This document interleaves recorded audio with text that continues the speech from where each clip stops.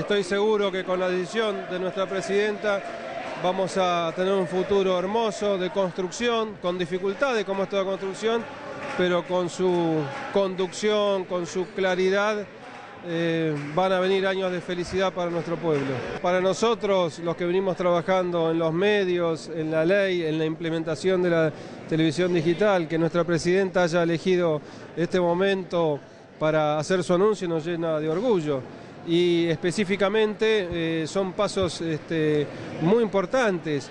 Eh, lo que está ocurriendo con la implementación de la televisión digital, ya 20 plantas funcionando, la posibilidad de estos eh, LCD y LED de 32 pulgadas con el DECO incorporado a un valor este, tan, tan accesible para, para nuestro pueblo, me parece que son eh, pasos fundamentales en la democratización de los medios.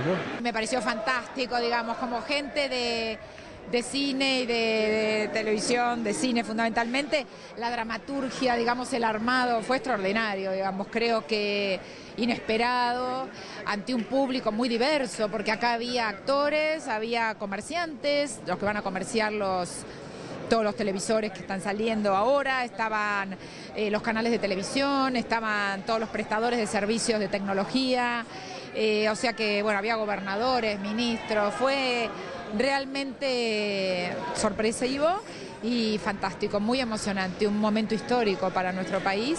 Este es un hito central.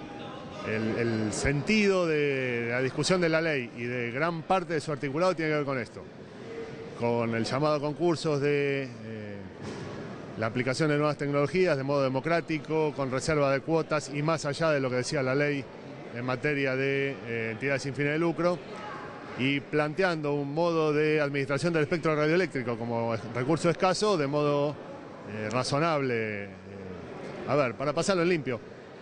Hoy la televisión argentina funciona en, sacando rarísimas excepciones repetidoras en banda VHF, es decir, del 2 al 13. Solamente siete ciudades del interior del país tienen más de una señal de televisión abierta. Acá lo que se está planteando es que va a haber 55 canales de televisión que van a transmitir cada uno de ellos cuatro señales cada uno. Y lo que se concursa es el derecho a subirse ahí. Más 24, más la Ciudad de Buenos Aires, provincias que van a tener su nuevo canal, más las 39 universidades. Eso da 260 señales de televisión abierta. Cuando se habla de democratizar espectro radioeléctrico, cuando se habla de democratizar la palabra, es esto.